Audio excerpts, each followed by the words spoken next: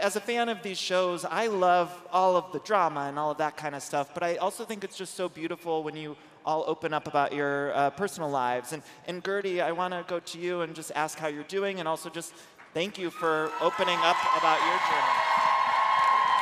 Well, I'm cancer free officially. I'm, I'm about to ring the radiation bell on Wednesday, so that's exciting as well. A, a little itchy down here, but you know, we, we made it work. uh, I'm very excited. I'm so blessed, and I, I literally wake up every morning counting my blessings and making it count. Remember that, make it count. Yeah. What's it like to get so so vulnerable on screen for all of us? I mean, I was just in another panel uh, with Julia, and, then and then my question is, everyone's like, why did you share? And then I go, why not? Why not? Because, you know, I was told that, you know, I was going to be able to be treated and I'll be okay eventually, but it's gonna go, we're going to go through a hard time. And to me, I said to myself, you know, if I can show the good and the bad, then it's only better because a lot of people with cancer, they feel like they have the plague and they, they don't want to share and they feel like something's wrong with them and they go into hiding. And I said to myself, I'm not doing that. I'm not going out like that. I'm going to definitely have, have this platform. I signed up for the good and oh my God, look at my career and my husband and all that. Now it's time to really be real on reality TV and show the bad as well. The good, bad, the ugly, all good. Thank you. Thank And you. you're so inspirational to, you know, so many people that go through the same journey. It's So a lot of pressure, It's guys. a lot of inspiration. It's a lot of pressure, and you know, like you guys are like amazing. You are amazing. Yeah. Your strength, you know, imp- inspires you. us. And you know, I'm not a taker like that. Like I like I know I, I got some tissue, but it's kind of like I'm not that person to take on that kind of like attention. I like attention for what I do, how I dress, but not so much of like poor Guerdy. That's why I ask you guys to empower me, not pity me. And thank you. Well, thank you. You have a new man in your life, Jody. What can you tell us about him? Jody, where's Jody? Can Jody stand up? Where is he?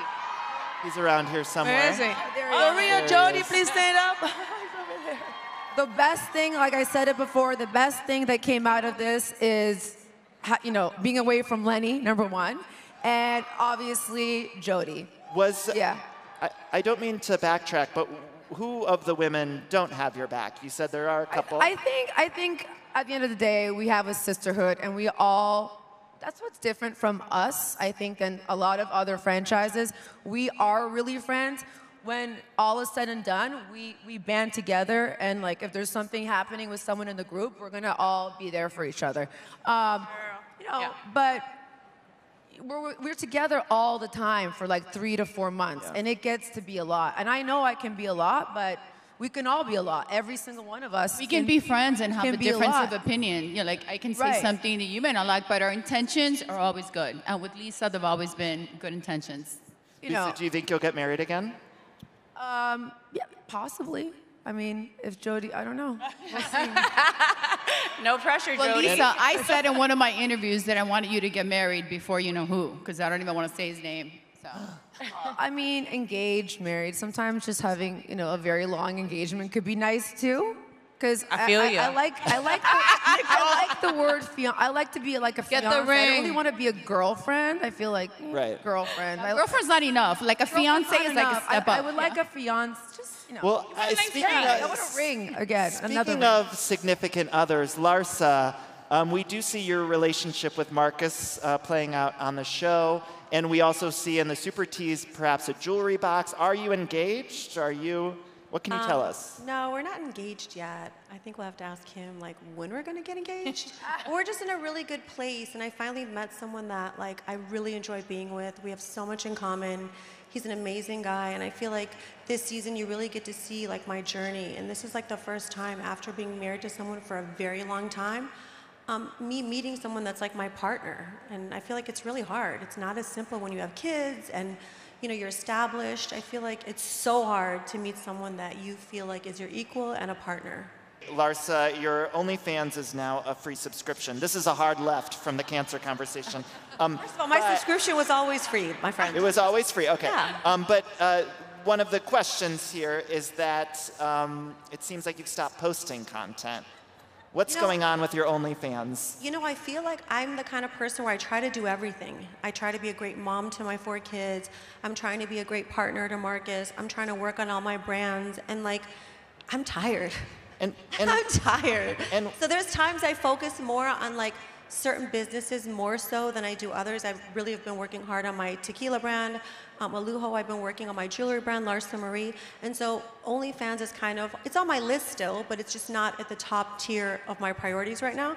I feel like there's only so many hours a day. It's like hard to be a woman. Look good, take care of your man, cook, take care of your kids. And like, it's just so many responsibilities. And So do- now only do- Marcus get to see your feet, right? Yes, Marcus enjoys my feet. and finally, lucky I, Marcus. I do have to ask. Shout finally, out to Marcus, the lucky guy. Shout out to Marcus. I do also just have to ask, what was your reaction to Cardi B calling uh, BS for you on you for saying that you used to have sex with Scottie four times a night? You know, I don't know. How can someone else comment on how many times I have sex, you guys? Like, she wasn't in bed with us, so I don't know. And I don't know. I kind of felt like that was comical. And I, it's funny because I called Alexia and I go, Alexia, you don't think I have sex four times a day? And Mark I don't said, think "Well, anybody I- can have I- sex I- four just- times just a day. Just so you know, Like if you were having sex with Scottie really four times a tired. day, Marcus you still would be all every over That's what I all was. That's what I. long. I I look o- think, I, Whenever listen, with I'm the sex expert. Whenever I look over at Larsa, she's always texting right. with Marcus. She's the one like, with the Texting is different from sex. Kiki, you have something. Kiki I, I feel like it probably could, it's true based on You know, I, I, I, texting. I feel like, honestly, Hey guys, Kiki wants to say something. Let her You see what I'm talking about? I can barely Yeah. say a Say it, word. I Kiki, cannot, like, this is bullshit.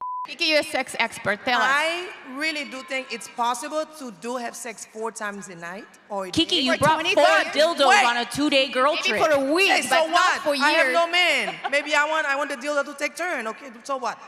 But listen, I I do think it's possible to do have sex four times a day. However, for 20 years, that's a lot. Lisa, Lenny's mother, uh, originally expressed solidarity with you when the divorce news broke, and then we've since seen her flip, because I mean, I guess you don't bite the hand that feeds you. Um, my question is, you know, do you still have some type of relationship with her? Do, does she see your kids? You know, what's the situation there? There is absolutely no relationship with them at all. She doesn't. I don't. I certainly don't want one. I don't know if anyone saw the disgusting things that she said about me publicly. Um, hor- horrible, horrible things. You all saw that. That We can't come back from it. It's just there's no coming back from the toxic relationship that we had.